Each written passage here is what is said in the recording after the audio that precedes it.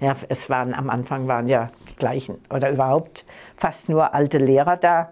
Es waren ja nicht schnell neue Lehrer da, überhaupt nicht. Also wir waren glücklich, wenn mal ein jüngerer Lehrer oder eine jüngere Lehrerin kam. Und der Unterricht war sehr minimiert. Also ich habe zum Beispiel in der Schule bis auf die ersten zwei Jahre nie Sport gehabt. Es war also schrecklich, deshalb bin ich auch sofort in den Turnverein 1946 wieder, wieder da war. Wir haben nie Musik gehabt, außer dann in der Oberstufe einen sehr guten Chor. Das war also klasse. Ähm, Geografie ganz wenig.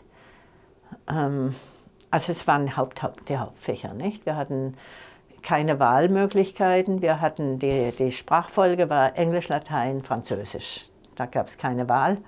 Und dann gab es also natürlich Mathematik und Deutsch. Geschichte war natürlich so eine, eine Geschichte, die hat dann bei uns aufgehört. Äh, ich glaube, dem 70er Krieg hat bei uns Geschichte aufgehört. Und wir mussten ja alles schreiben. Ich habe Stöße von Heften geschrieben. Wir hatten keinerlei Bücher, äh, weil die alten durften wir nicht mehr nehmen, konnten wir nicht mehr nehmen und neue gab es nicht. Also wurde geschrieben, geschrieben.